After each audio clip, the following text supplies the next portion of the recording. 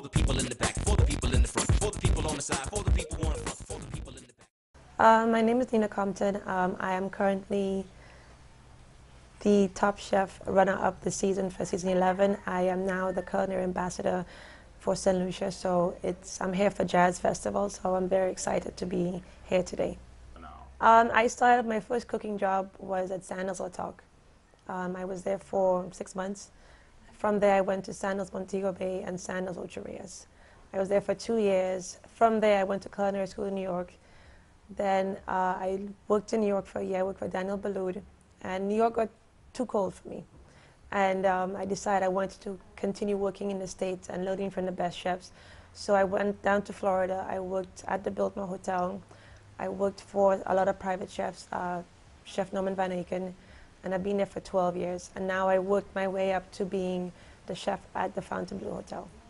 You know, the great thing about my parents, my parents always encouraged all of us to do what we love, what we have the passion for. So it wasn't cookie cutter to be the next prime minister. My parents said, whatever you love and have the passion for, they encourage us to do it, which is a great thing because you know, a lot of people feel pressured. They have to follow in their parents' footsteps.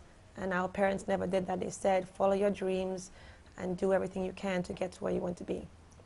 You know, I started off, and it, it's funny, I, it took me this far to reflect and look back on my journey. And it's a long journey, it was a very hard journey.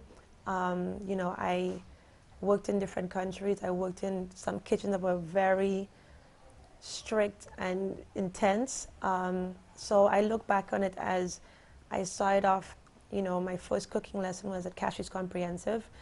And then I started, you know, working in the restaurants at Sandals. So I reflect on all these things and I, I look back. I feel like I'm on top of the hill and I'm looking down and I, I can raise my hands and say, you know, I've, I've done what I wanted to do.